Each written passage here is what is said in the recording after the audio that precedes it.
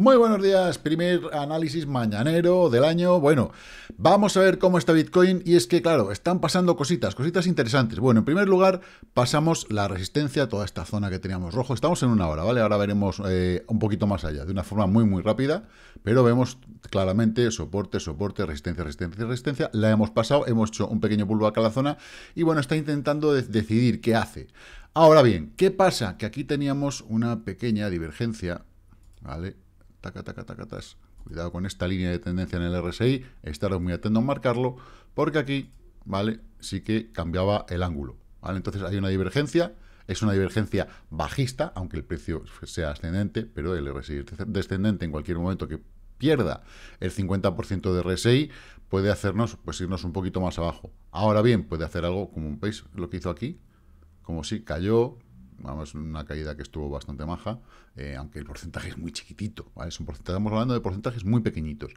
Eh, y bueno, lo que es eh, nuestro querido All-in-One sí que nos avisa y nos dice, oye, que estamos por encima de la línea roja punteada o que estamos por debajo de la línea verde punteada y estamos haciendo cuerpos muy rojos o cuerpos muy verdes.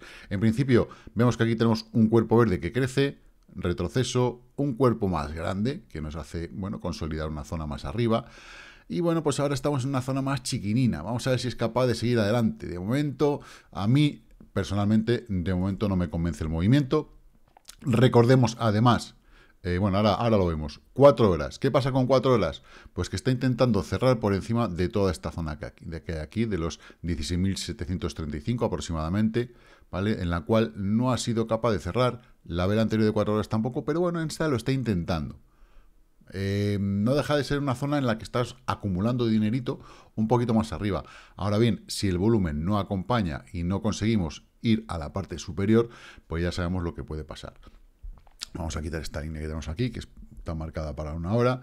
En realmente no hay, no hay divergencia ninguna en cuatro horas, ¿vale? Es lo que tiene, está bastante plano, aquí también está bastante plano, no hay algo que podamos decir, uy, se nos ha ido para arriba, así que no hay movimiento, no hay movimiento, sigue esto aburrido, y recordemos que eh, aquí tenemos, bueno, o teníamos, porque realmente al final no se generó un gap en condiciones, del cierre del 30 de diciembre a la apertura del 3 de enero, como la mecha se han tocado en cuatro horas, eh, contemplamos de que no hay, no, no, no hay gap, no existe gap, ¿vale? Vemos que en una hora la mecha llegó aquí, aquí se ha cerrado, bueno, se da por cerrado el gap, no es importante, así que no, yo no, no vigilaría eso, mm, vigilaría más lo que es una zona de soporte real, ¿vale? Es lo que los puntos de pivote son lo que tenemos que, vigilar ahora. Bien, Importante que en, una, en, cuatro horas pasemos esta zona que tenemos aquí, ya hemos dicho, de los 16.735. En diario, pues no es significativo el movimiento, 0,43%, eh, no es nada. Y bueno, su homólogo en el mercado, el SP500, pues está, fijaros, en una hora como ha, ido arriba, en cuatro horas también, ha hecho una vela de cuatro horas bastante, bastante potente. Fijaros, vamos a verlo aquí, ¿vale? En una hora, de una vela de un 0,90 es, es mucho decir, es mucho decir. Así que bueno, eh, de momento intentando salir al alza y bueno, pues en lo que es el, diario, pues después de la vela que hizo Doji que cerró el año pasado, pues este año ha decidido, venga, seguir arriba a la zona de resistencia. Recordar que esto es una zona de resistencia que tiene el SP500. Vigilar el SP500 y si rompemos esta zona y podemos ir a la línea de tendencia, posiblemente Bitcoin hará algo bastante similar. ¿Vale? Hará algo bastante similar. Vamos a ver eh, si es capaz en la zona que estamos, me gusta más esta otra gráfica aquí, ¿vale? En la zona que estamos somos capaces de pasar esta línea verde que tenemos aquí puesta en los 16.904 y a partir de ahí podríamos pensar, en cosas.